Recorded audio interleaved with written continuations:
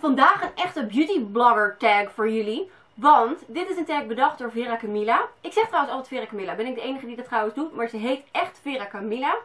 Vera heeft de tag door beautybloggers bedacht. Tag verzonnen. En het lijkt heel erg op de Beauty Bloggers Make Me Buy It tag. En uh, ik vind dat zelf heel erg leuk. Omdat ik, voordat ik beautyblogger werd, heel, veel, heel vaak beautybloggers bekeek. Vooral op YouTube. En um, daarna natuurlijk er zelf eentje geworden. Dus ik vond het echt een heel leuk tag. Ik dacht, ja, die moet ik doen. Het zijn acht vragen. En uh, op zich wel kleine vragen, maar het, zijn, het is wel heel erg leuk of zo om erover na te denken. En ik zou het heel erg leuk vinden als jullie onder in de comments ook laten weten wat heb je eigenlijk gekocht. Omdat ik dat heb aangeraden. Dat zou ik eigenlijk wel heel erg leuk vinden om te weten. Dus, ik ga over naar de vragen. De eerste vraag, en ik kijk heel even op het scherm tegenover me. Door welke beautyblogger heb je het meest gekocht? Nou, de eerste beautyblogger die ik volgde was Blair Fowler. Juicy Star 07. En um, ik vond haar toen heel leuk, omdat het echt nog een beetje een meisje was. En uh, ik was iets ouder, maar het klikte wel enorm of zo als ik naar haar keek. Dus producten die zij aanraden, ja, daar was ik wel echt van, oké, dat moet ik ook hebben. Maar ja, zij zei heel erg vaak, had het vaak over Amerikaanse dingen. Dus dat was moeilijker te verkrijgen. En toen ben ik op een gegeven moment Nederlandse beautybloggers gaan volgen. En dat begon natuurlijk met, met Masha. En Miss Lipgloss en Vera Camilla. En ik denk wel dat Miss Lipgloss, maar vooral Vera, ervoor heeft gezorgd dat, nou, zeker in het begin van mijn um, beautyblog tijd, dat de helft van mijn make-up stash werd gevuld door dingen die zij aanraden. Dus dat is wel heel erg grappig. Dus uh, ja, wel echt Miss Lipgloss en uh, Vera. Dus ja, vind ik wel grappig als ik daarover nadenk. Maar ze hebben daar best wel wat voor gezorgd. Maar dat komt ook omdat ze wel echt hele goede reviews hebben geschreven. Dus ja, 2. Wat was het eerste product dat je door een beautyblogger kocht? Nou, weet je wat het is? Um, ik volg natuurlijk nu al bijna 8 jaar beautybloggers. Dus het, ik vond dit best wel een beetje een lastige vraag. Dus ik moet ook heel even kijken wat ik ook weer had uitgezocht. Um, eerste product, dat weet ik niet meer. Dat is simpelweg te lang geleden. Wat ik wel weet is dat um, Sleek, daar was echt een, helemaal een hype ook over. Al, al best wel in het begin. En ik vond die paletten zo leuk dat een van de eerste dingen die ik kocht voordat ik zelf beautyblogger werd, was het Oh So Special palette. En het Oh So Special palette is gewoon een heel leuk simpel palette. Maar Sleek zelf is natuurlijk een heel leuk merk, omdat het nou ja, relatief budget is. Zo'n palette is echt heel mooi qua pigment en kost een tientje. Dus dat vond ik wel, um, dat had ik zoiets van, ja, maar dat wil ik ook hebben. Want dat is het volgens mij echt waard. Sindsdien heb ik nu iets van uh, uh, 10 palettes van Sleek in mijn, in mijn stash liggen. Dus dat zegt dan ook wel weer wat. En MUA. MUA, zoals de, de Britten zeggen. MUA is een, is een echt een superleuk budgetmerk. Wat nu natuurlijk in Nederland verkrijgbaar is. Maar voordat het soort van een hype hier werd, um, had ik het eigenlijk al een beetje ontdekt. En uh, toen heb ik uh, in, in, het buitenland, in Engeland, heb ik deze besteld. Dit is de Undress Your Skin, of ja, Undress Your Skin Shimmer Highlighter. En nu is het een ontzettend gehyped product. Dat is wel heel erg grappig. Maar ik had hem dus al een tijd daarvoor, uh, voordat ik zelf beautyblogger werd. En ja, heel erg mooi en uh, relatief goedkoop. Ik heb hem toen voor een pond, dat was in de aanbieding toen, heb ik hem gekocht. En ben er nog steeds heel blij mee. Het is echt een fantastisch dingetje. En toen ik zelf beautyblogger werd, toen was er een product dat Live Life Gorgeous, Willemijn en Martine, ja die meiden hebben me ook wel wat aangesmeerd hoor. Dat ik heb gekocht vanwege, nou vanwege hun eigenlijk, de Chanel uh, Le Volume mascara. En ja, de dingetje is vrij prijzig. Ik zou nooit zomaar een hele dure mascara kopen zonder dat ik zou weten of het goed was of niet. En Martien was helemaal, ja, kopen, kopen, kopen. Dus uh, dat heb ik toen ook gedaan. En ik ben er tevreden over. Niet zo tevreden als zij dat zijn. Maar uh, tevreden genoeg om uh, hier wel met liefde mee om te gaan en hem te gebruiken. Ik heb hem vandaag ook gebruikt. Dus grappig eigenlijk. Hoeveel, wij, hoeveel ik dan wel, in ieder geval ik spreek voor mezelf, hoeveel ik wel niet heb gekocht dankzij dat soort meiden. Ik vind het wel heel grappig. Wat was het laatste product dat je door een beautyblogger hebt gekocht? Dat moet zijn geweest de Sugar Balm. Deze heb ik gekocht. Deze stond al een aardig tijdje op mijn lijstje. Maar deze stond op mijn lijstje sinds dat Lotte Loves Beauty het erover had. En ik vond het zo, er zat er een artikel over geschreven. En ik vond het zo mooi staan dat ik me eens een beetje beter ben gaan verdiepen in de Benefit blushes. Want dit is een Benefit blush. En toen dacht ik, ja, Sugar Balm is het gewoon voor mij. Dus uh, eigenlijk heb ik dit dingetje te danken aan Lotte. Hij is aardig prijzig. Ik heb er onlangs een review over geschreven. Ik heb hem in mijn vakantie gekocht bij de Sephora. Ja, ik vind hem echt werkelijk fantastisch. Maar hij is dus vrij prijzig. En dat soort dingen doe je dan ook alleen omdat iemand anders aangeeft van ja, hij is hartstikke prachtig of zo. Dat heb ik dan. En natuurlijk koop ik nu zelf natuurlijk ook wel dingen omdat ik het wil, zelf wil testen en zelf wil laten weten aan jullie of ik het wat vind. Dus, uh, maar dat is in ieder geval mijn meest recentelijke aankoop door een beautyblogger, denk ik. Vraag 4. Wat was het duurste product dat je door een beautyblogger hebt gekocht? Dat vond ik een hele lastige vraag. Omdat ik wel heel veel verschillende producten heb gekocht. Maar wat was nou het duurste? En wat is nou duur, weet je wel? Maar dan kom ik toch uit bij de Naked palettes. Ik, moet, ik moest gewoon een Naked hebben. Alleen al omdat Blair Fowler het de hele tijd erover had. Dus toen ik eindelijk een keertje bij een Sephora in Utrecht was. Toen heb ik het uh, Naked 2 palet gekocht. Toen die ook weer op voorraad was. Want dat was ook nog een gedoe toen. Dus dat moet, ja dat is... Um...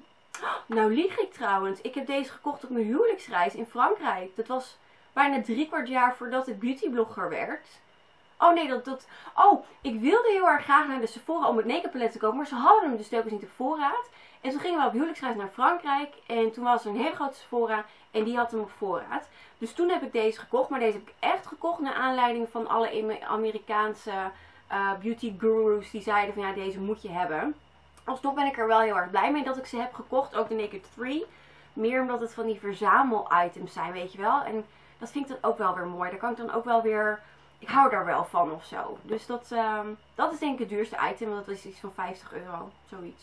Misschien is een parfum ook wel een keertje nou, langs geweest. Maar dat kan me dan niet zo goed meer herinneren. Even kijken. Ook wel eens een miskoop gedaan. Uh, nadat een beautyblogger me had aangeraden. Ja. Um, Masha van Beauty Gloss. We weten natuurlijk allemaal wie Masha van Beauty Gloss is. Die um, was helemaal fan van het Essence CC Cream. Dat is ze nu nog steeds. Maar waarom? Dat vraag, dat, ik snap er echt geen hol van. Ik heb hem ook gekocht. Hij zit op dit moment in mijn opgemaakt bakje. Hij is helemaal vol. Behalve dat ik hem dus een paar keer heb getest. Ik vind het zo'n verschrikkelijk product. Ik heb nog nooit zo'n slecht make-up product ooit gehad, getest, gekocht. En deze is ook nog eens aangeraden door een beautyblogger. Dus dat is wel heel erg grappig. Waarom ben ik hier zo ontevreden over? Hij maakt mij oranje. Echt, je moet mijn review maar eens lezen en de foto's bekijken. Maar ik ben ook echt oranje oranje. Ik ben een Oompa Loompa. Dus misschien reageert de CC Cream anders bij, bij andere huidtypes of zo. Ik weet het niet. Maar als sla je me dood waarom zij hem fijn vindt. Ik ben gewoon een wortel. Dus nee, gelukkig is het een heel goedkoop product. En dat ik daarom denk, ach boeiend weet je wel. Maar ik vind hem verschrikkelijk. En hij is wel aangeraden door een beautyblogger. Kan gebeuren. Um, welk gehyped product heb jij ook in je stash? Nou, dat zijn er twee. Um, voor mijn beautyblog tijd is dat het Too Faced Natural Eye Palette. Hier ook werd over gesproken door de Amerikaanse beauty gurus. En um, ik vond het gewoon een heel mooi product. Want Too Faced is gewoon een heel mooi romantisch merk. En deze heb ik toen uh, gekocht. Omdat ik het Naked palet in de Sephora niet kon vinden in Utrecht. Toen heb ik deze gekocht. Want het was ook gewoon een heel mooi product om te hebben. En daar heb ik ook absoluut geen spijt van. Ik vind hem heel mooi. Alleen al voor de heb. Ik, ja, weet niet. Ik, ik spaar dat soort dingen natuurlijk ook wel.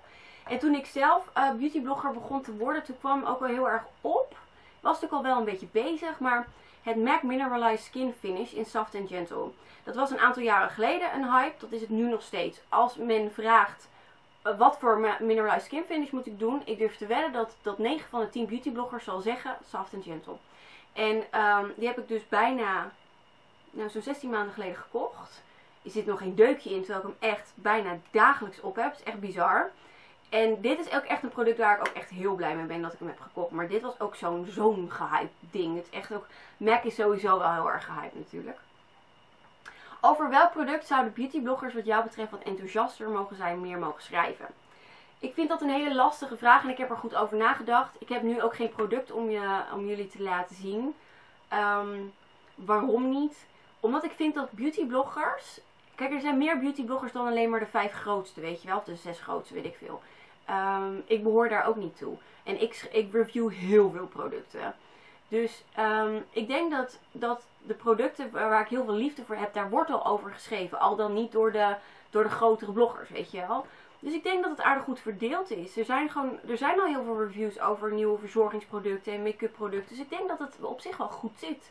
Um, Ik vind Zuva en Sleek zijn echt merken waar echt wel goed over gesproken mag worden. Ik vind de hele hype van Essie het niet helemaal waard. Want ik vind de kwaliteit minder dan, dan vele andere bloggers dat vinden. Ehm, dus ja, dat is een beetje meer persoonlijk. Ik vind op zich wel dat er genoeg wordt gesproken over eigenlijk allerlei merken. Dus... Even kijken, dan de laatste vraag. Wat is de beste aankoop die je door een beautyblogger hebt gedaan? Nou, hier komt Vera Camilla weer terug hoor. Kiko. En dan heb ik het meer over het algemene merk Kiko. Maar voornamelijk over de lippenstiften. Want als iemand mij Kiko heeft aangeraden en als ik daardoor verslaafd ben geraakt, dan is het Vera wel. Um, fantastische producten voor echt geweldige prijsjes. De goedkoopste lippenstiften met geweldig pigment kosten 3,90 euro. En de wat duurdere, bijvoorbeeld deze Velvet Matte Lipstick. Als goed is staat Nee, er staat nog geen review van online volgens mij als deze video online komt. Dit is de Velvet Matte Lipstick en deze kost 6,90. Het zijn echt fantastische kleuren met fantastisch pigment. Ongelooflijk mooi. En ja, Vera heeft er echt gelijk in dat ze, dat ze Kiko best behoorlijk wat aandacht geeft. Ik ben dat sindsdien dus ook aan het doen. Omdat het het echt waard is. Kiko is echt een superleuk budgetmerk ook nog wel. Maar heeft echt een luxe van een, luxe van een high-end merk. Dus dat... Uh, dat zijn mijn beste aankoopjes eigenlijk recentelijk geweest. En dat komt door Veren. Dus ik vond het een hele leuke tag om te doen. Ik hoop dat jij het ook leuk vond om te doen. Om, om, te, om te horen, om te kijken naar mij. En uh, mijn antwoorden te beluisteren. Heel erg bedankt voor het kijken. Vera, bedankt voor het maken van deze tag. Ik heb blog gehad. En uh, voel je vrij om deze tag natuurlijk ook te doen. Het is wel zo vriendelijk om Vera natuurlijk even te mentionen in je filmpje of in je artikel. Heel erg bedankt voor het kijken en tot de volgende keer. Doei!